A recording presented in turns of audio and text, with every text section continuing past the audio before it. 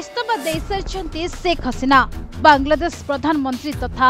Awami league ପାର୍ଟିର ମୁଖ୍ୟ ଶେଖ୍ ହସିନା ଆଜି ତାଙ୍କ ପଦରୁ ଇସ୍ତଫା ଦେଇସାରିଛନ୍ତି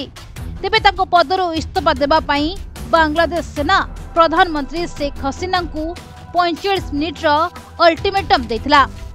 ଏହାପରେ ତାଙ୍କ ବାସଭବନରେ ଶତାଧିକ ବିକ୍ଷୋଭକାରୀ ପ୍ରବେଶ କରିଥିଲେ ପରିସ୍ଥିତି ଖରାପ ହେଉଥିବା ଦେଖି ଇସ୍ତଫା ଦେବା ପରେ ସେ ସେନା ହେଲିକପ୍ଟରରେ ଭାରତ ଚାଲି ଆସିଛନ୍ତି ରବିବାର ସକାଳେ ବାଂଲାଦେଶର ବିଭିନ୍ନ ଅଞ୍ଚଳରେ ପ୍ରଧାନମନ୍ତ୍ରୀ ଶେଖ୍ ହସିନାଙ୍କ ଇସ୍ତଫା ଦାବିରେ ବିକ୍ଷୋଭକାରୀ ଏବଂ ଶାସକ ଦଳର ସମର୍ଥକଙ୍କ ମଧ୍ୟରେ ସଂଘର୍ଷ ଉପୁଜିଥିଲା ଏହି ସଂଘର୍ଷରେ ଅତି କମ୍ରେ ଚଉଦ ଜଣ ପୋଲିସ କର୍ମଚାରୀଙ୍କ ସମେତ ଅତି କମ୍ରେ ତିନିଶହ ଜଣଙ୍କର ମୃତ୍ୟୁ ଘଟିଛି ଏଥିସହ ଶହ ଶହ ଲୋକ ଆହତ ହୋଇଛନ୍ତି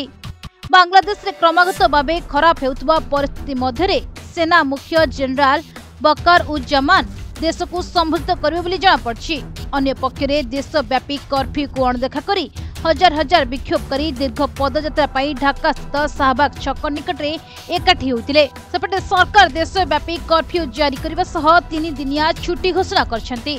देश में हिंसा पक्षर कारण कौन कहीं छात्र संगठन सरकार विरुद्ध राजरास्ता को ओह्लैंट आपण जानते कि बांग्लादेश हिंसार मूल कारण हो लागू होता संरक्षण व्यवस्था देश में सरकारी चाकरी में तीस प्रतिशत संरक्षण रही उन्नीस एकस्तरी स्वाधीनता आंदोलन में जो मैंने संग्रामी थे से संपर्कों पर व्यवस्था रखाई जहाँ प्रत्याहार करने दावी करुले विभिन्न छात्र संगठन ଏହି ଦାବି ନେଇ ବିଭିନ୍ନ ଛାତ୍ର ସଂଗଠନ ଆନ୍ଦୋଳନକୁ ଓହ୍ଲାଇଛନ୍ତି ଏଥିସହ ପ୍ରଧାନମନ୍ତ୍ରୀ ଶେଖ୍ ହସିନା